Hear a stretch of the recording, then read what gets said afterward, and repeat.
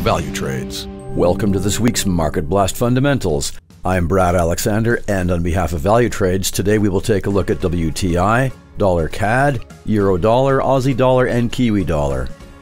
We often get asked, what is the difference between the US non farm payrolls and the ADP non farm payrolls?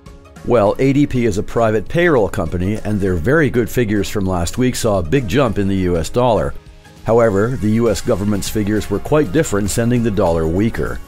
This wild movement in price action may give us a clue to get back into the short trades on pairs like Aussie dollar, Kiwi dollar, and Euro dollar, and we will look at these tomorrow from the technical side. Be aware, however, that there is a lot of Euro economic news this week with employment change and GDP tomorrow, and an interest rate decision Thursday. The Bank of Canada will announce their interest rate decision Wednesday, and we see consolidation against the US dollar. This gives us a good opportunity for range trading if that is your style. Just be aware that the increasing price of crude oil should make the Canadian dollar stronger. However, if we see progress in the Iranian nuclear deal this week, and a hint that sanctions may be lifted, we may see crude oil supply predictions go higher and a potential drop in price.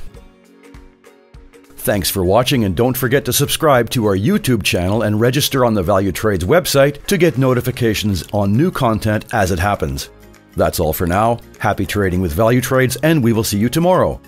CFDs and FX are leveraged products and your capital may be at risk.